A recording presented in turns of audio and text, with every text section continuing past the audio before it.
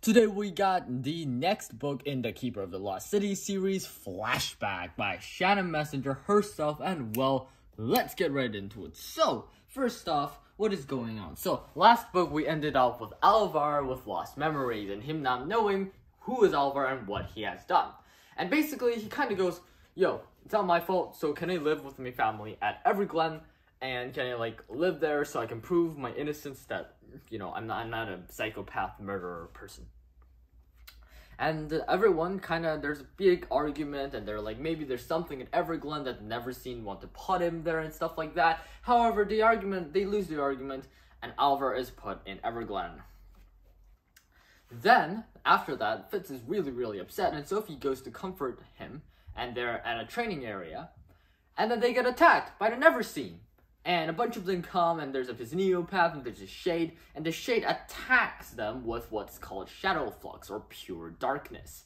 And it apparently does extreme damage to you because Sophie and Fitz spend the next, like, million years trying to recover. Sophie managed to press her panic switch in the middle of the fight, and they got rescued by Dex and a bunch of goblins. And after that, Sandor is quite traumatized, and he's, he, he thinks he needs to quit and stuff like that, but Sophie's like, no, you need to, like, be by my side because I only trust you. And he's like, okay, fine. And he makes this team of five different species protecting Sophie. And this team of bodyguards is Bo, Nubiti, Tarina, and Flori. And Bo is an orc, Nubiti is a dwarf, Tarina is... My brain is slowly dying. Yeah, Tarina is a troll, and Flori is our friendly neighborhood gnome and basically we got we got these five bodyguards. Meanwhile, we know that something bad is gonna happen at the Celestial Festival, which is when uh, the very famous Vacker is performing this light switch thing. And he happens to be the son of Lucia Vacker, who is being really, really suspicious and who is the one who built Everglen. And after that, well, Fitzphie kind of finally gets official, and then we get hit with the news of, frick, dude, what the heck?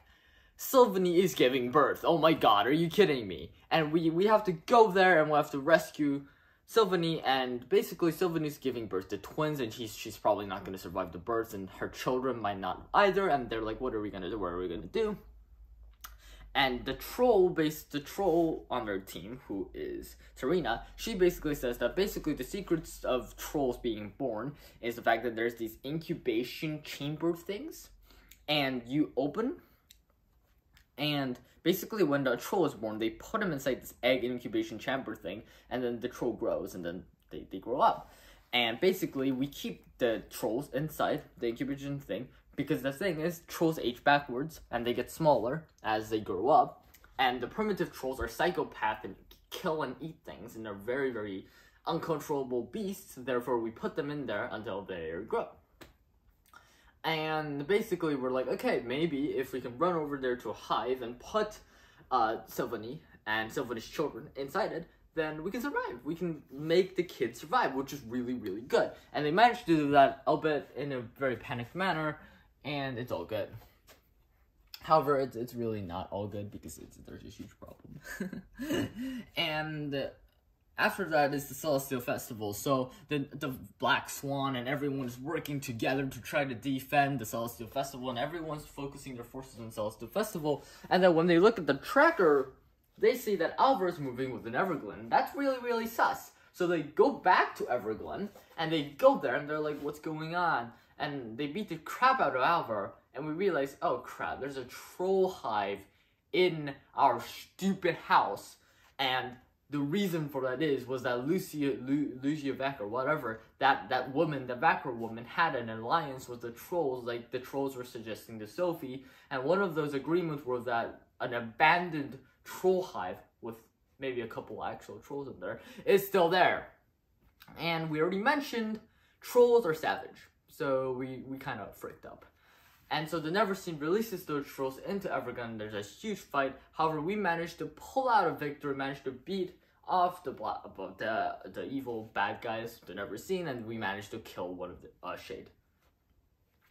And then we find out that stupid freaking bad guys Neverseen They've gathered up at where Silveny's children are. And basically, they're saying, hey, if we're gonna kill these alicorns, if you don't give us Tam. And we're like, what? You dumb. Are you serious right now? And she's like, yeah.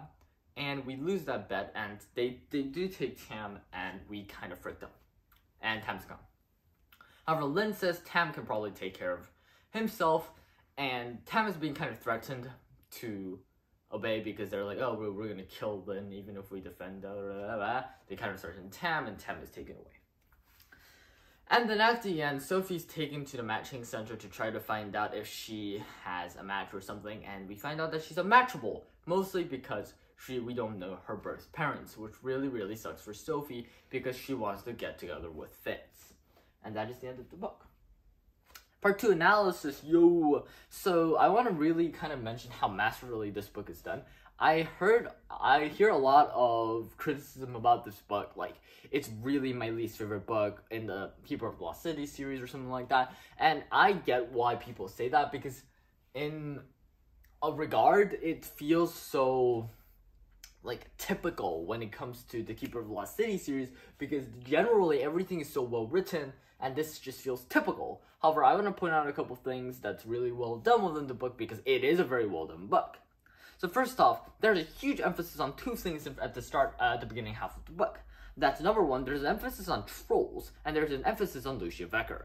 And the thing is, these two things are directly connected because Lucia Vacker's connection with the trolls is the reason why there is a hive within Everglen, and that's the reason why that's a big twist. That's one of the big twists.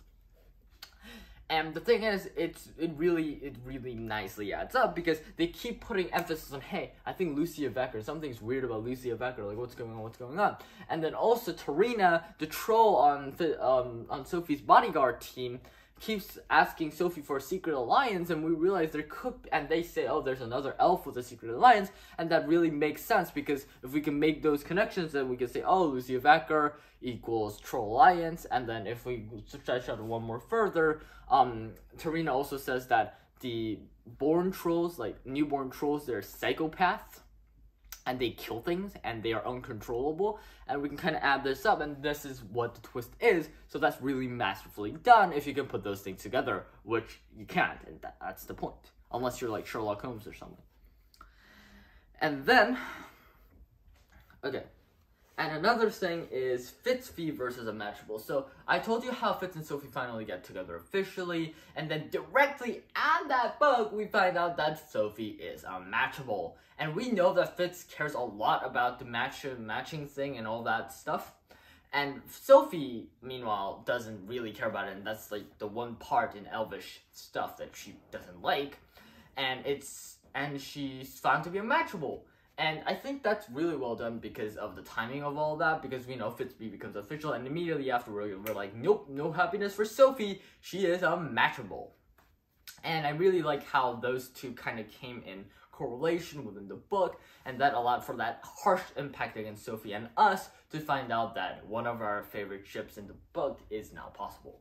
Of course, a lot of people ship Keefe and Sophie together, and I'm gonna make my predictions about that at the end of the analysis section. And then, um, yeah, and it's really good device. It's really nice double impact.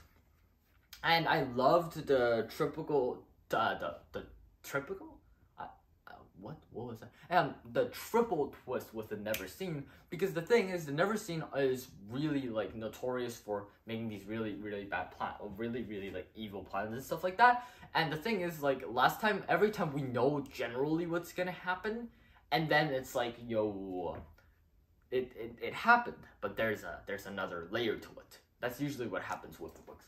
But the thing is, this entire book, we knew something was gonna happen at the Celestial Festival, and we were like, "Yo, what? Well, what's gonna happen at the Celestial Festival?" So we thought there was gonna be a huge fight at the Celestial Festival, but instead that was like a red herring, and instead the entire problem was at Everglen. So I think that's really, really well done. How the emphasis was put on, was put on the Celestial Festival, and it averted our gazes so that we be blind to what's happening in Everglen. Pretty cool if you ask me. And yes, again and again, I do get that it might be a little bit repetitive for some people. However, I still think that doesn't change how well done this book is. and also a couple predictions. Number one, Keefe and Sophie. I feel like they're gonna get together somewhat because, um, honestly, I think Sophie is kind of forcing herself to like Keefe in a way where it's like in her brain, she's like, I like Keefe, I like uh, Fitz, and that's she's kind of affirming herself again and again to like the T like boy. And meanwhile, I think subconsciously she likes and trusts Keefe more, and that's what I think. Because I feel like Fitz might really care about that um entire thing about the uh, the unmatchable thing, and I feel like that might be a breakup factor later on in the series, which would make a lot of sense and why these devices are introduced, and it would add an extra layer of heartbreak to Sophie, which would be excellent. Not excellent, but it it, it would be good character stuff. And also, uh, a little bit of a prediction for the end of the book, uh, end of the series. I feel like there's gonna be some sort of judgment thing with all the humans on the planet. I feel like um, they're gonna Vespera and the bad guys. They're gonna kind of make a machine that judges humanity or something, and they like shove in humanity people into into machines or something, and try to make like human elf people who don't feel guilt and like bioengineered stuff or judge humans, kind of like the final judgment in the Bible. And I think that'd be, I think that would make sense because considering that Sophie is kind of the Black Swan's version of that kind of when where she has part in both worlds, and I feel like that perspective that Sophie has is going to come into play in the series where maybe the humans are attacked by the Neverseen or something like that, which would be really really cool. And that's my analysis. It's pretty yeah, that's, that's what I got, and it is pretty well done. I will say that perhaps within the Keeper of the Lost City series, it's quite like typical, I guess, if you read all the books but then at the same time, I think it's masterfully done and quite a little bit different from the rest of the twist if you look at it closely. And I wish people wouldn't send hate to the author because, like I said, it, it's up to standard. It's pretty good. And like always, your plot coaster and the plot quest are really good, but highly recommended. I would rate it a um, 7 out of 10 or an 8 out of 10, which is really good in my standards. And well, have a great day. Flashback. By the way, I don't like that type. I think it should be different but I can't think of one right now. So yeah, goodbye.